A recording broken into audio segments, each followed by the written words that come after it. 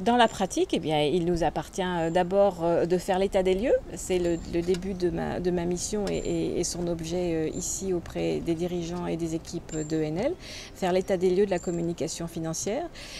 sous deux angles. L'un qui est quels sont les outils actuellement utilisés par ENL qu'il s'agisse du rapport annuel, des états financiers qui y sont compris euh, ou du site internet par exemple, mais également quels sont les messages, et c'est euh, le deuxième angle euh, de la communication financière que j'ai commencé à aborder avec ENL, quels sont les messages qui sont diffusés par le groupe, par ces différentes entités cotées, à quelle occasion, et notamment à l'occasion de publications trimestrielles, semestrielles et, et annuelles, mais également à l'occasion peut-être d'opérations financières, de fusion, d'acquisition.